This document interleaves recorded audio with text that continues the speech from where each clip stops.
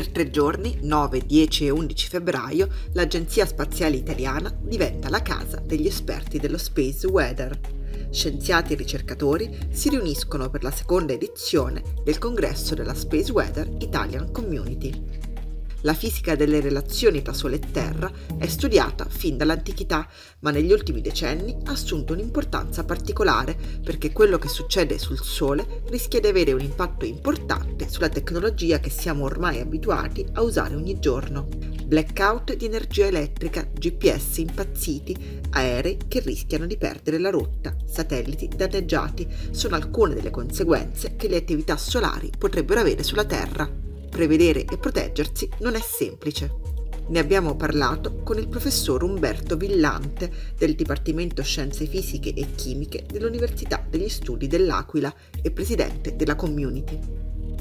Quando parliamo di space weather eh, vuol dire che noi ci stiamo interessando delle manifestazioni dell'attività solare che hanno un impatto sulla nostra società, un impatto di tipo socio-economico e tecnologico che è via via crescente. E questo dipende dal fatto che le tecnologie moderne, ovviamente basate sull'elettronica, microelettronica, informatica, web, eccetera, sono sempre più sensibili a queste manifestazioni dell'attività solare, quindi siamo in presenza di un impatto destinato a, a, ad aumentare nel corso degli anni. Lo Space Weather eh, si dedica allo studio di queste attività, a capire come innescano questa fenomenologia nello spazio circonterrestre, che cosa si può fare per attenuarne le conseguenze e magari anche per cercare qualcosa sui processi di previsione. Sicuramente avrete sentito parlare di tempeste solari, un cappello sotto cui sono comprese diverse manifestazioni turbolente della nostra stella. Nella vulgata si usa il termine tempesta solare. Nel termine tempesta solare si intende una serie di fenomeni. Il brillamento solare, che è un'emissione di una grande quantità di energia elettromagnetica, eh, diciamo che, che avviene durante, in particolare negli anni di maggiore attività solare, sulle cosiddette espulsioni di massa coronale, coronal mass ejection, cioè che sono delle vere e proprie esplosioni che, me, che immettono nello spazio interplanetario grandi quantità di particelle di plasma che viaggiano a velocità tra i 200, 300 fino ai 2000 km al secondo e che potranno impattare la Terra.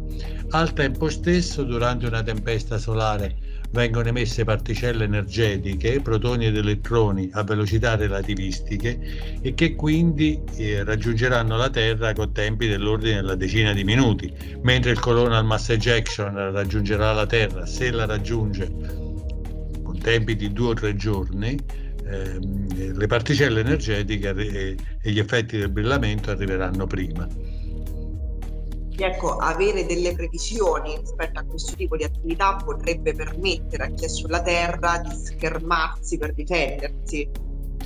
Eh, schermarsi per difendersi non è così facile, nel senso che uno può organizzare eh, diciamo dei, dei processi più o meno sofisticati.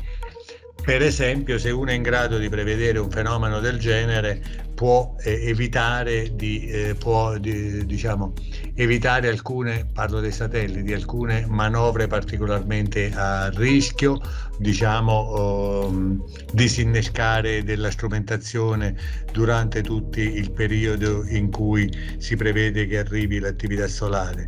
Per il resto, per gli effetti a terra, per esempio, gli effetti sono molto notevoli sulla distribuzione dell'energia elettrica, allora qui c'è il problema di capire quali parti di una rete possono essere soggetti a questa extracorrente per, in questo modo si, si, potrebbe disinnescare quel settore della rete ed evitare, ed evitare di danni alla strumentazione.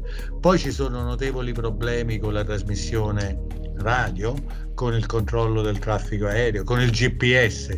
Sono tutti problemi destinati a crescere.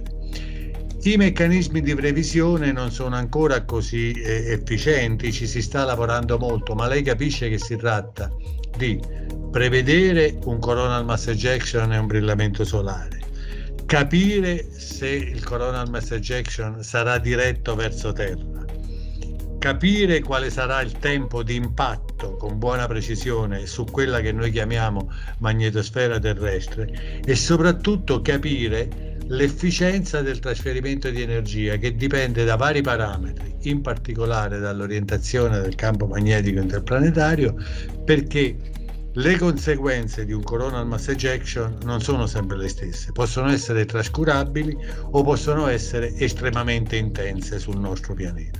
Su tutto questo si sta lavorando. Il tema dello space weather richiede conoscenze interdisciplinari, raccoglie per un confronto fisici, astrofisici, geofisici, enti che vanno dal CNR agli NGV, agli NFN e all'ASI, naturalmente le università, tutti uniti in una ricca comunità italiana che assicura Villante gioca un ruolo di assoluto rilievo a livello internazionale.